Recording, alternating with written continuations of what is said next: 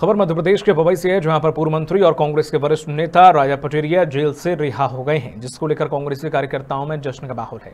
बता दें कि राजा पटेरिया पिछले ढाई महीने से उप जेल, पवई में बंद थे। राजा पटेरिया को प्रधानमंत्री मोदी के खिलाफ आपत्तिजनक टिप्पणी करने पर गिरफ़्तार किया गया था। वहीं जेल से रिहा होने पर राजा पटेरिया ने मीडिया से कहा कि, जेल, महात्मा गांधी विश्वविद्यालय कृष्णागार है, जो मुझे तीर्थ के समान है। मैं देश के प्रधानमंत्री और प्रदेश के मुख्यमंत्री का धन्यवाद करता हूँ जिनके सबश्रेष्ठ प्रयास से उन्हें यहाँ रहने का विशेष अवसर मिला। साथ ही परिवार जो उनके प्रति चिंतन के लिए सभी का धन्यवाद। और हमारे दोस्त हमारे नेता प्रतिपक्ष डॉक्टर गोविंद सिंह का हमारे साथी हमारे हमारे ज़िंदगी के ढाई महीने शोध संस्थान थे। महात्मा गांधी शोध विश्वविद्यालय है हमारे लिए। और माननीय प्रधानमंत्री जी के लिए, माननीय मुख्यमंत्री जी के लिए मैं धन्यवाद ज्ञापित करता हूँ कि उनके उनके प्रयास, उनके कारण मुझे यहाँ आना पड़ा। और मैं उनको बहुत बहुत आभारी हूँ कि मुझे जीवन के अद्भुत किस्म के जीवन के अनुभव प्राप्त हुए हैं, जो जिनका, जो अमूल्य है।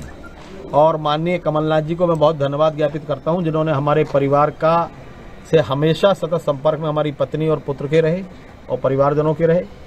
और हमारे दोस्त, हमारे नेता प्रतिपक्ष डॉक्टर गोविंद सिंह का, हमारे साथी, हमारे अध्यक्ष रहे पीसीसी चीफ अरुण यादव जी का मैं बहुत आभारी हूँ।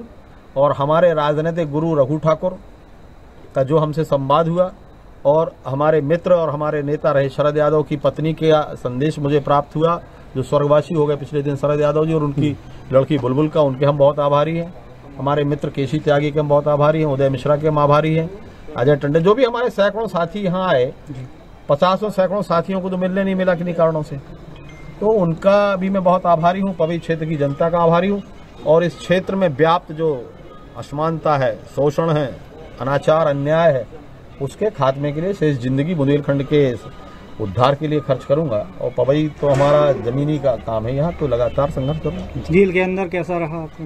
जेल के अंदर सबसे बड़ी जो हमने अनुभूति प्राप्त की इस देश को जात ने खाया है तीन हज़ार साल एक देश गुलाम जाति के कारण रहा।